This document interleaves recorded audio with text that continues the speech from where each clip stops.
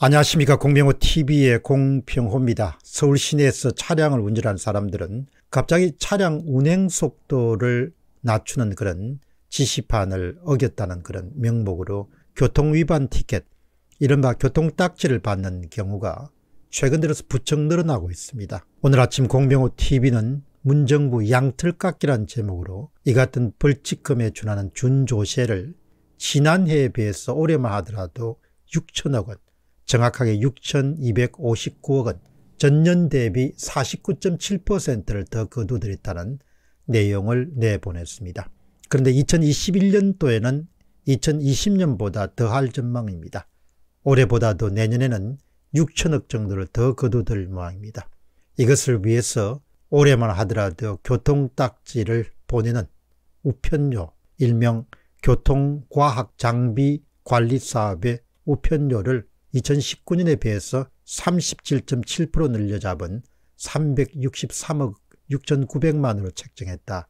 이런 보도도 내보냈습니다. 이 같다면 또 내년에도 한 400억 정도를 더 책정해서 아마 국민들에게 교통딱지를 많이 발송할 예정으로 보입니다. 이런 보도가 나가자마자 즉시 교통딱지 때문에 어려움을 겪는 분들의 경험담이 쏟아져 나왔습니다. 정보를 공유한다는 의미에서 오늘 몇 분의 이야기를 소개해 드리도록 하겠습니다. 첫 번째는 스파크님입니다. 공 박사님 잘 지적하셨습니다. 과태료 때문에 미치겠습니다. 저는 직업이 운수업입니다. 30km 초과 과태료 문제점이 아주 큽니다.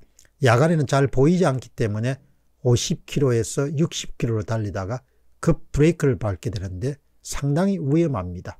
개선 방법은 아마 이분이 말씀드리는 것은 그 학생들 그런 안전지대에 대해서 이야기하는 모양입니다. 개선 방법은 초등학생의 통학 시간과 그 다음에 오전 8시부터 저녁 6시까지 그리고 월요일부터 금요일까지만 5일 동안은 시행하고 주말은 해제하도록 해야 될 것입니다. 현재 상황은 세금을 뜯어가기 위해서 시속 30km 초과 과태료가 크게 증가하고 있는 실정입니다.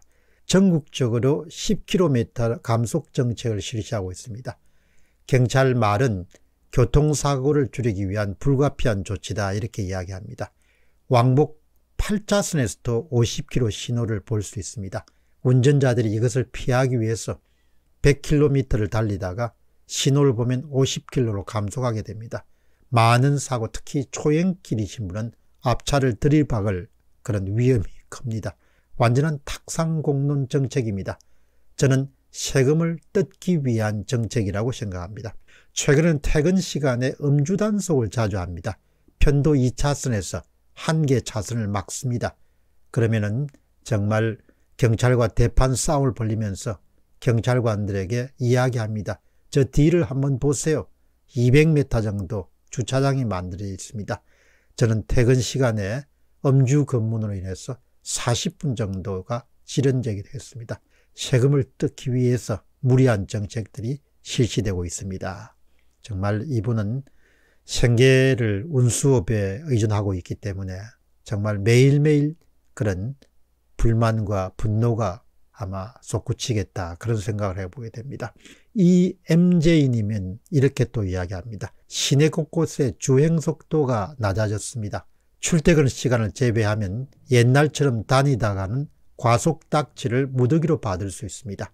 시내에서 운전할 때도 반드시 내비게이션을 켜고 다녀야 과태료 부담을 들 수가 있고 과태료 덫을 피할 수 있습니다. 또 이케이님은 양털을 깎는 것이 아니라 양가죽을 벗기고 있습니다. 또 기YH님은 공박사님 제가 경험하고 느끼고 체험했던 것은 바로 벌칙금 부과에 관한 보험입니다.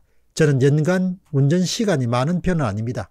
대중교통이 어려울 때만 예외적으로 운전을 합니다. 면허를 취득한 지가 30년이 넘었습니다. 그동안 교통위반 벌칙금을 내본 적이 없었습니다.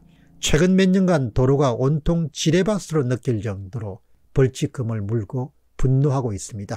사고 위험 방지를 위한 단속 목적이 되어야 원성이 없을 텐데 정부가 돈을 갈취하기 위한 함정 단속이라는 생각이 강하게 듭니다.